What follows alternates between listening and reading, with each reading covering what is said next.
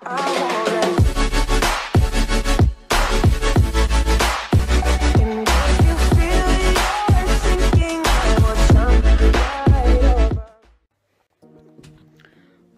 so you guys know I did that call out. It was a lot of fun to make. This is all a massive joke. He's gone and made a 1 hour and 27 minute response video, which I am what? An hour and 3 minutes through. Uh, I've watched 10 minutes in the morning, like 40 minutes before I went to my grandparents, and then obviously 20 minutes now after I've uh, played some NBA. And literally. if you watch the video, you'll see yet again no evidence. He's the one that has said you can't say anything without evidence. Given all the evidence in the world, and he hasn't given given one piece of evidence, and it, it's just making up bullshit lies, like saying that it, it it was his idea for everything, and oh my god, you just need to watch the video and also watch my video and you'll see how much bullshit there is in there. It is so funny. And it's like embarrassing for him. He's sitting back going like this and he's being a massive hypocrite throughout the video saying, well, stop eating when I was doing the Bean Boozled challenge. Whereas in his uh, Proof I Don't Subbot video, he was literally munching down on something the whole time. I'm eating a tiny jelly bean. And the, just the hypocrisy, the the lies, the everything. Where is the evidence? It is quality. Is quality. He reckons I don't edit my videos, whereas throughout this video you can see him freaking chucking in his charger, checking how long the video's been going for, setting up OBS. It is funny as literally guys, you gotta watch like I don't know how long, but he bullshits every minute of the video. I'm gonna I'm gonna get back to if there's anything in this last 20 minutes. I can't even remember the stuff at the start.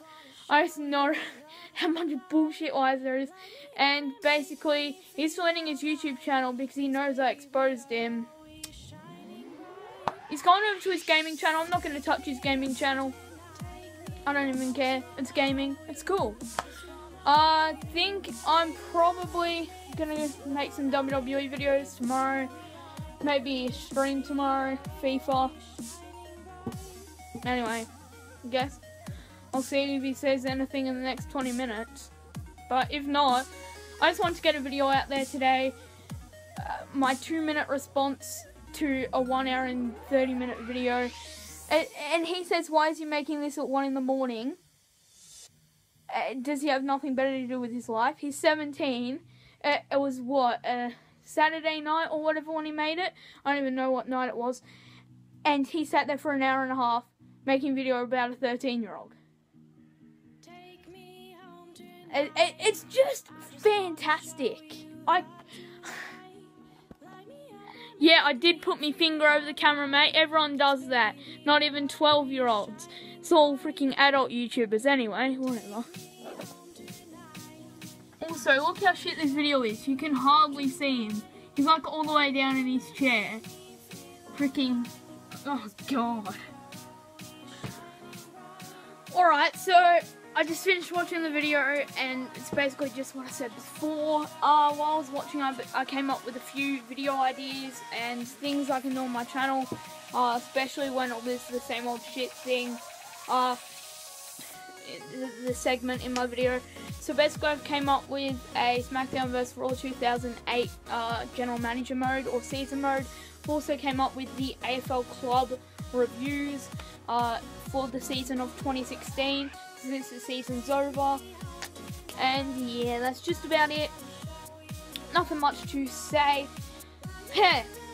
Um, that video was quite shit, but you know, I, I, I was able to watch it all. I didn't like, so I guess it wasn't too bad. He said my, my video wasn't as bad as he thought it would be, so good on you for that. So he praised me like five times throughout the video. Um, so yeah, thank you all for watching. Let me know if you're excited for the club reviews, the AFL club reviews, because I feel like I'm going to do that. And yeah, original idea. boys and girls. Anyway, I've been Kane, but until next time, peace. Where's where's the camera? Ooh, there.